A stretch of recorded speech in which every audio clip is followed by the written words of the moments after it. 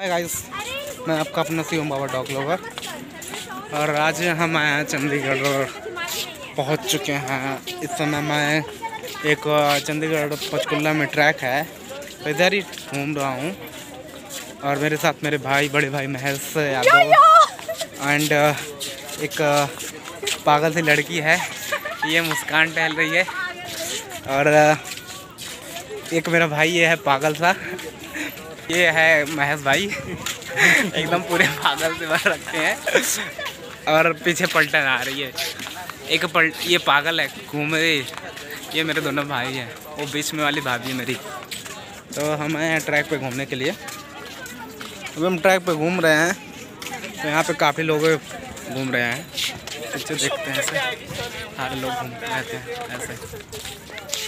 यहाँ पे रेलवे खड़ी होती है खड़ी होती है। तो इधर ही सारे लोग घूमने आते हैं मॉर्निंग इवनिंग में टाइम में मॉर्निंग में भी आते रहते हैं सारे घूमने के लिए। तो हम सोचे कि हम भी चलें। आए हैं चंडीगढ़ घूमने के लिए तो मैं भी घूम लूँ इसी बहाने। तो अभी हम घूम रहे हैं। यहाँ पे एक मुझे छोटा सा पपी दिख रहा है लाइब्राडोर का। है किसी और का?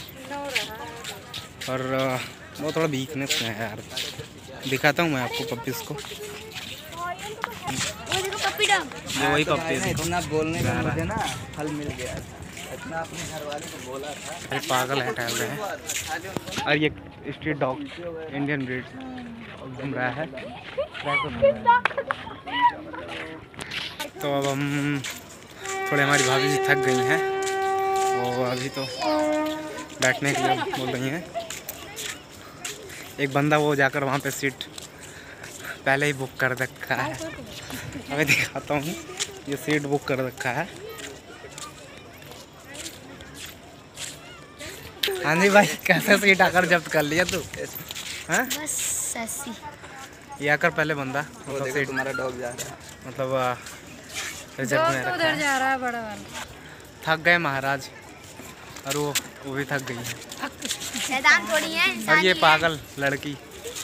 मुस्कान जो साथ में हमारे मुझे टहलाने के लिए यहाँ पे।